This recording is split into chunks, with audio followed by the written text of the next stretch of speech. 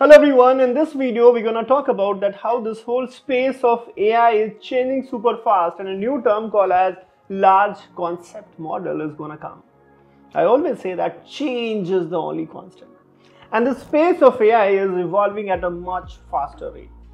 For the last year or a month, we have been hearing a lot about LLMs. All these apps like ChatGPT, Google Gemini, all of these have been powered by the large language models. But a latest paper by Meta, which talks about the large concept models, LCMs, and I believe that that's what's going to rule the world of AI in the coming months and the year. So what's different which LCM brings to the table than LLMs? Let's try to understand this video. Please watch it till end to have a very crystal clarity among the differences between the LCM and the LLMs. Now to start with, let's first of all understand what LLM is.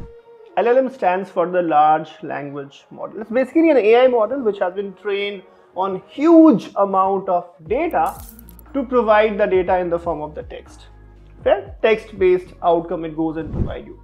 So whenever you go and ask any question, you, you write a sentence and press enter in chat GPT, what happens internally is that it goes and process each word, each token one after the another. And that's why you would have heard the term like tokenization whenever the chat GPT is concerned. What that means, you write a sentence and each word of that sentence or maybe the characters. So what that means that if I go and give an entire sentence to the GPT, how does it process? It takes each word, each token one at a time, tries to identify the significance of each word and then based on that it understands, interprets and provides a coherent result.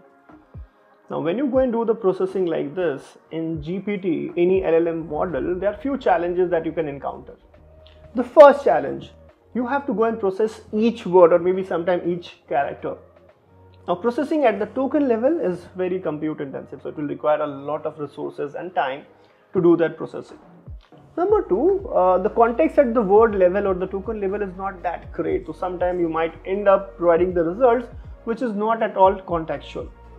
And the third big challenge is that maintaining the context of the entire words or the conversation that you are having for a long period of time, it becomes very tricky and complex. In order to solve all that, Meta a few months back has released a paper which link I have already added in the description below it talks about the large concept model. It says that contrary to the old LLMs, don't make use of token or tokenization mechanism for understanding the context. Rather, take the entire concept or by context concept, you can say that entire sentence which will get you the better meaning or the context why it is being asked from the large concept models. Let me help you with an example. Let's say that if I just go and put a word called as an eat does eat has any significance? No. But when you have a complete sentence that I don't want to eat, or you say that I want to eat, both are the two different sentences and both are 180 degree apart. But when you read or when you take into the cognizance the entire sentence, it has given you better clarity and the reference and the context why this has been asked to you.